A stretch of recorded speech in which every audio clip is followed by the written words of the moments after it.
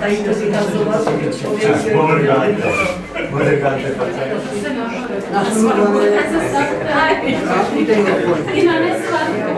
Měli jsme teda baráky. Přitom to bylo pod tím šifrem, což byla taková rarita. To byla vlastně taková levná krytina pro chudé lidi. Takže ten šifr zmizel všude. To je myslím tady poslední záchvět toho, že to zachytil. To byl tatínek.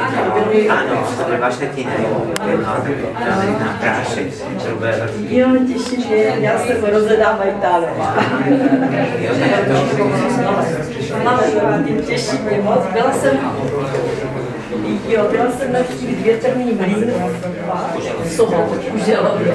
Tak jsme to projeli, podlouhli, taky dcera tady byla s malýma, už vnoučatama, tak jsme tam dělali takový okruh. Tady vidíte My tady máme chalupku, no, no, máme to bratrem, takže my se jezdíme rádi a všichni tak vážení jsme tady, ale jinak je. Tatínek totiž takové věci dělal taky jako trošku polotajně, bych řekla, protože já jsem teďka vlastně sama objevila, že jich 40, což jsem myslela, že jich tak 20. Ale to se to dala to zakládané, že to čas veme za. Že? Ta je, to je opravdu. Ta je úžasná.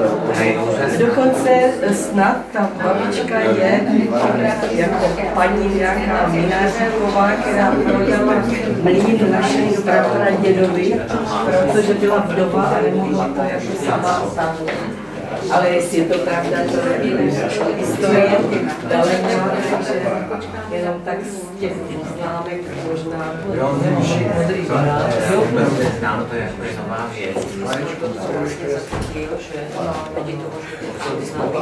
To jsou opravdu jako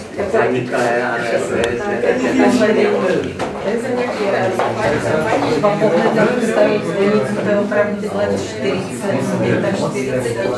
Potom teda za socialismu, když se vymourali a vlastně se tam dělalo, že zbylo. Jak tady No, tak to je potom tak 70 let, když se tady postavila hasičská zbrojnice a podobně. Takže to už je takový ten pohled novější. To jsou výkresy z doby právě, kdy chodili do školy a jak oni se učili zachycovat vlastně tady ty krojové věci.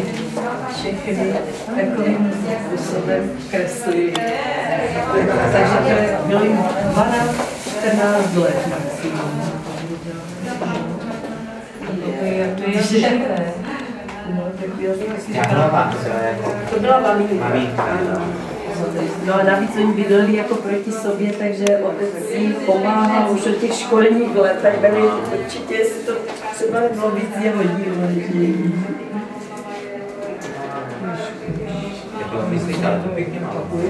Ne, teďka ještě tady mají pohoštění umělci, širokomu.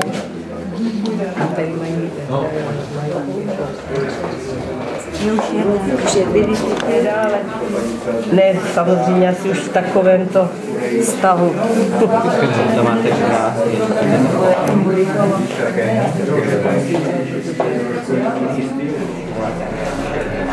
Dělali už